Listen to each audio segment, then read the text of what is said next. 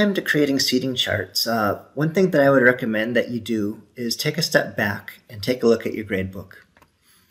It's important to keep in mind that when you're doing your, your seating charts, you're not going to clearly see which class period is which. Rather, you have to be able to understand your class code and the section number, and the section numbers aren't necessarily in the same order as your day. So in this case, section 7 is my period 1. So what I would recommend that you do is just really quick on a piece of paper, make a note of your class periods, went through whatever, and write down at least the code, in this case E025 7 the section number.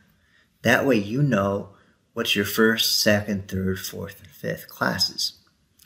Second thing, uh, you notice if I get down to period 7, I actually have two different period 7 courses. There's M625 as well as M625Q which is a Q-coded class that's within that class period. You will probably see something very similar to this in a couple of uh, examples. One, you have an office assistant, a peer tutor, a TA, whatever it's called at the school. That is part of a seventh period class. That's actually a, whole different course during period seven.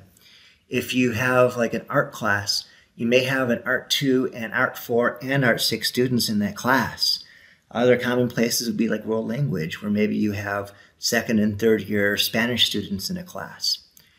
Make a note what those numbers are uh, as far as sections in the class periods, because if you are interested in using your seating chart to take attendance, you have to be very careful about how you build those seating charts, and I'm going to show you that just next. So please consider right now uh, what your class periods are, the course code, and the sections, and that will help you in the next part when we actually start creating the seating chart itself.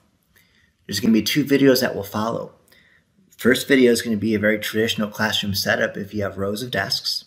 And then the second video is going to be if you have maybe table groups, lab benches, or things like this.